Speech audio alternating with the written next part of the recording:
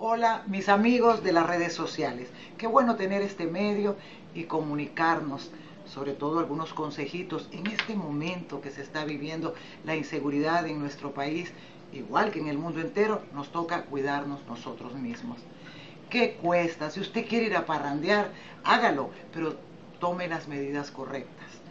Si usted sale de su casa, aprenda a cerrar bien la puerta. Si se sube al carro, póngale el seguro a su carro porque eso significa que usted se quiere mucho.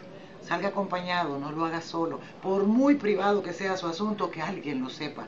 De esa forma usted estará contribuyendo a que todos nos estemos salvados de muchas situaciones eh, trágicas como las que se han vivido en las últimas semanas en nuestro país a todos les deseo que, además de que nos sigamos viendo por estas redes sociales, podamos decir, hemos cumplido y tenemos de verdad una Honduras segura porque nosotros mismos pusimos esa piedra de seguridad, de compañerismo y de solidaridad para que a nadie, nadie, nadie le pase lo que en este momento muchas familias sufren.